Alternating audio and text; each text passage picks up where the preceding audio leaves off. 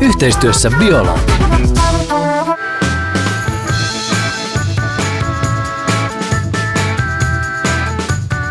Kodin kaauksen kesyttäminen tuntuu usein olevan helpommin sanottu kuin tehty.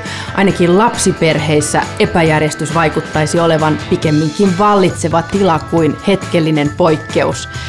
Terve, olen Heikkilän Marianne Martta ja tänään etsimme järjestystä kodin kaauksen keskelle.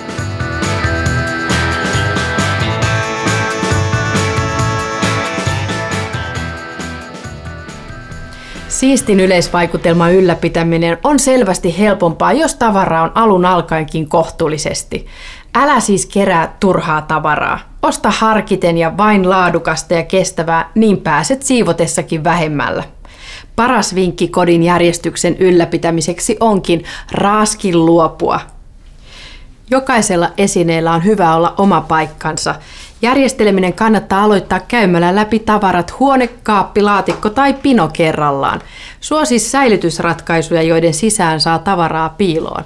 Lokerot, laatikostot, hyllyt, korit ovat erinomaisia säilytystapoja. Kannelliset ratkaisut ovat erityisen hyviä. Suosi ovia, sillä avohyllyt keräävät herkästi pölyä. Hyödynnä myös sängyn aluset sekä ovien ja kaappien päälliset. Lattialla lojuvat sähköjohdot häiritsevät paitsi silmää myös siivoamista. Ne on hyvä saada pois näkyviltä. Hyvä vinkki erityisesti lapsiperheille on eräänlainen aarrelaatikko, johon kaikki voivat viedä irtainta löytötavaraansa ja josta kukin voi ensin käydä etsimässä kadonnutta omaisuuttaan. Pääset siivousurakkaassasi helpommalla, jos jo etukäteen mietit ulkonäön lisäksi kodin pintamateriaalien puhdistamista. Sileistä pinnoista lika lähtee helpommin kuin uurteista ja syvennyksistä. Yksivärisissä pinnoissa lika näkyy helpommin kuin kirjavissa. Kosteutta sietäviltä pinnoilta lika on helppo pyyhkiä pois. Pääset siivoamisessa vähemmällä, kun estät lian kulkeutumisen ulkoa sisälle. Myös pestävät irtopäälliset helpottavat puhtaana pitoa. Hyvä kotoinen tuoksu antaa kotiisi siistin ja raikkaan vaikutelman. Pyri eroon asioista, jotka aiheuttavat pahaa hajua. Pese vessa, putsaa lattiakaivo, tarkista ovatko kaikki tiskit varmasti tiskattu tai olisiko aika painua mattopyykille. Huolehdi kotisi ilmanvaihtojärjestelmän toimivuudesta, muun muassa puhdistamalla suodattimet säännöllisesti.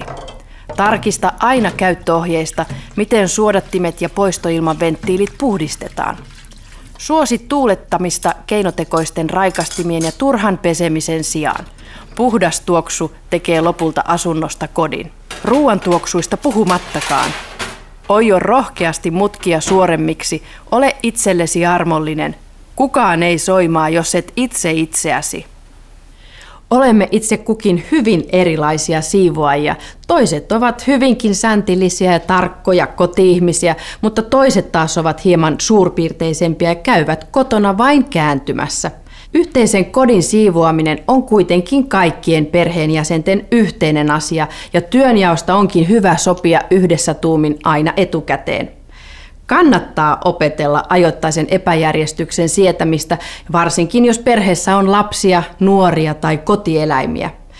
Siivoa vähän kerrallaan. Jaa töitäsi useammalle päivälle. Pari kertaa vuodessa tehtävä stressaava suursiivous voi olla jopa vaarallista paitsi parisuhteille myös allergisille. Ajattele mukavaa lopputulosta ja ota siivous hyötyliikunnan kannalta. Kunnon uurastus nimittäin moppi kourassa vastaa taatusti tehokasta hikijumppaa. Kiitos teille seurastanne tänään. Lisää Marttojen siivousvinkkejä löydät Livin netistä.